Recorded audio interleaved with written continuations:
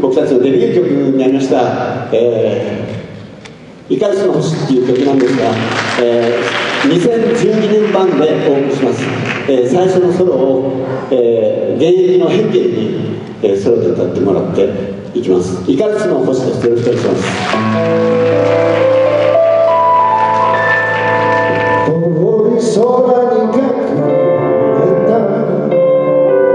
イカルスの星よ風の翼に登ったあの人を返して誰の目にも見えない美しい星を一人